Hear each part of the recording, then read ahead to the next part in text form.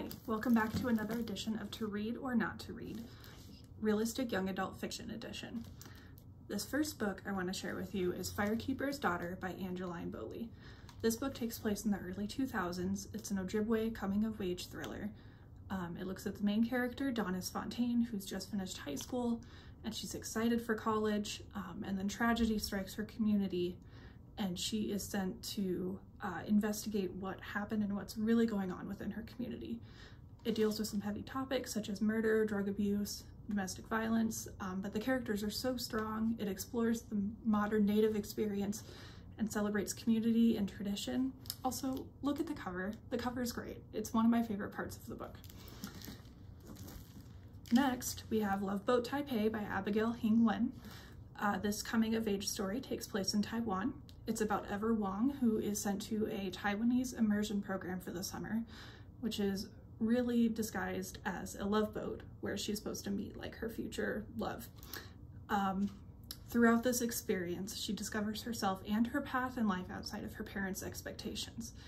Uh, it's a fun and adventurous book filled with lively characters and pretty wild scenes. If I Tell You the Truth by Jasmin Kaur is an undocumented immigration story of Kiran and her daughter Sahaara.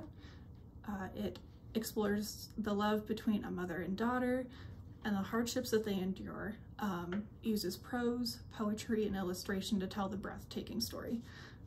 Uh, this book also looks at trauma, courage, community, and healing, and it explores the differences between the two cultures that Kiran is coming from and going to.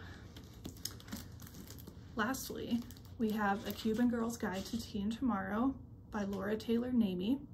Uh, this young adult romance is kind of a slow burn, but it's a cozy and really light read. Uh, this book will also make you very hungry as the main character, Lila Reyes, is a baker and spends a lot of the time uh, making these fantastic desserts and pastries and food that will just leave you wanting them.